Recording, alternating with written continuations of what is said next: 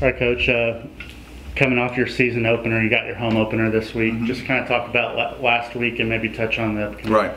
Well, uh, you know, you never like to lose, but there's also a, a, a way that you lose. And as you go back and evaluate it, uh, I was disappointed. Obviously, I mean, eight touchdown passes. That's that's unacceptable, especially from an experienced defense. Uh, our defense played well in the spring. A lot of those kids are back, and then we've also and we've added some other players to that. So. Uh, you know, there was a lot of there was busted assignments, like I talked about after the game. Um, you know, guys were obviously, um, yeah, uh, it wasn't our effort. I thought we were, you know, we were physical, but it that's got to be a, a common theme every week. But then you have to execute, and we had guys not where they were supposed to be in, in, in certain coverages, and uh, guys from West Kentucky running free down the middle of the field and obviously that's a problem. There was at least th- uh, at least three of those.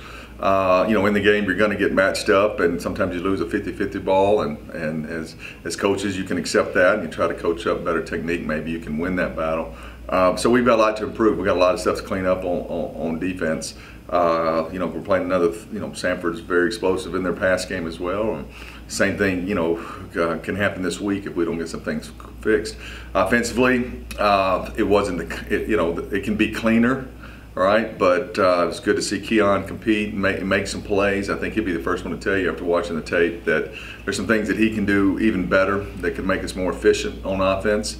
Um, I thought the offensive line competed really well. Uh, by, by far, you know, not not perfect and didn't always protect the passer like they needed to. But uh, I thought there's some things in the run game where uh, they, they covered some people up and with some strain. I thought the backs ran, you know, backs ran hard. Um, you know, Colton and Donnell, as usual, went up and made a few plays. Uh, there's a couple plays that they that they need to make for us, and I, and I expect them to as they go forward. Uh, so there were some things to build off of, of, of there, but uh, totally, uh, you know, didn't get it done on defense, and we better get it corrected quickly. I think you had 15 new players make their debuts. Uh, how, how would you kind of grade those guys, you know, stepping in in big roles? Well, I don't know if I went through it. You know, when my, you know, you start with Keon, and of course that was that was encouraging how he competed, and and and, and it's our my job, our job to. To, to clean him up, uh, you know, Yabi ran around and and uh, gave some great uh, effort and some physicality. He wasn't, in, you know, he was out for a week or so before the game, so uh, you know, probably wasn't in great shape. We'd like to do some other things with him as as we, uh, you know, can get him in practice uh, more and get him out on the field and and do some different things with him. Um, you know, those are the two that pop in my mind um, immediately. You know, Scheinberger played, you know, played a few plays. Uh, Castleberry did some things at the running back spot that that was good to see. You know, Tim Taylor ran hard. Uh, you know, we, we got a couple balls to uh, to uh, Tankersley, but not as many balls. You know, we didn't really challenge down the field with his speed. We certainly need, need to be able to do that. Um, so you know those are the guys that kind of pop out in my head of the new guys that played, and and, and Rod Hicks played uh, you know a little bit at the linebacker position and and made a couple plays, so that was good to see as well.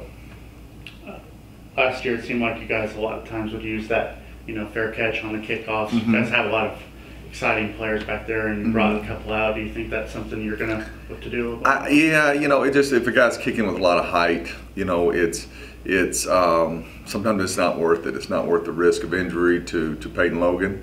Uh, you know, it's tempting every time to let him do it. All right, but then you also risk the, you know, the block in the back. You also, you know, risk and you know, one time our, our, our coaches were like, "We got it, we got it," because they liked where the ball was kicked. They liked the timing of it. They had seen it from the play before, and you know, and the ball still only got back to the 25-yard line, and Peyton Logan was out, uh, you know, for a play or two because it's it's a collision play. So there's sometimes as a head coach, I just tell them fair catch it, and we'll take the ball to 25. But uh, but we'll still keep practicing, and, and then if we don't get a high kick, then then that gives you an advantage back on the return team.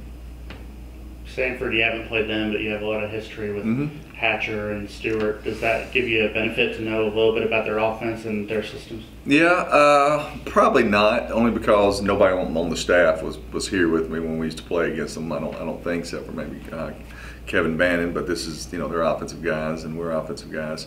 Um, you know when he gets Hatcher, when he was at Murray, right? Uh, and then of course that carried on with Mitch. Uh, watching their offense on tape, they're uh, very efficient, very efficient. Even though they play with tempo and they Uh, you know, it's it's it's it's more controlled passing game with tempo.